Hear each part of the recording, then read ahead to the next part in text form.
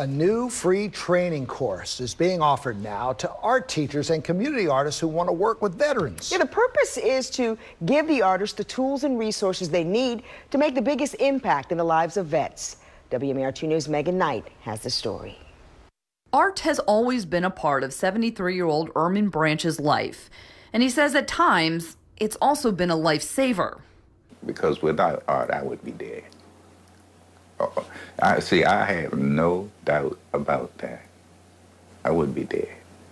Ermin was drafted into the Vietnam War shortly after graduating high school. And when he came home, he says he endured many hardships, such as struggling to find a job and dealing with PTSD. I got involved in art mainly because I didn't know how to express myself. And I didn't know who to talk to.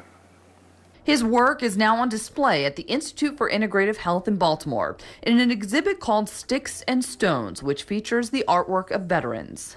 So as you look around, you'll see pieces that are specifically about how I personally, the artist, interacted with PTSD and how it impacted my life. J.W. Roan is the director of Vets Art Connect, which is part of the Institute for Integrative Health.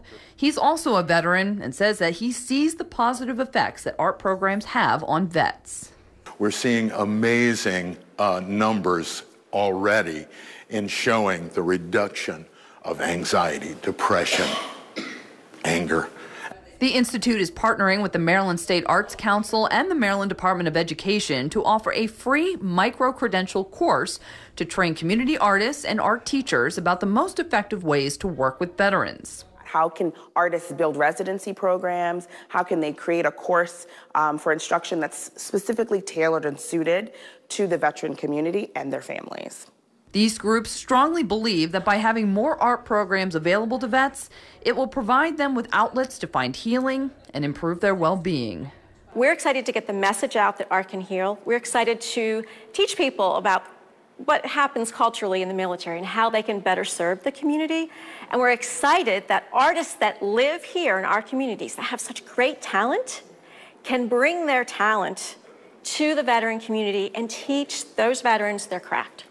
Ermin says he wishes he had things like art programs available to him when he had returned from Vietnam, and he hopes that other vets will find peace and healing in art just like he did.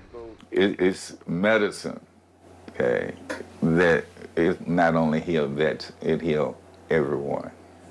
Now, the micro credential course this month is sold out, but there is another one happening this fall. So, for more information on how you can sign up, plus more details about the Sticks and Stones exhibit, just go to our website, WMAR2news.com.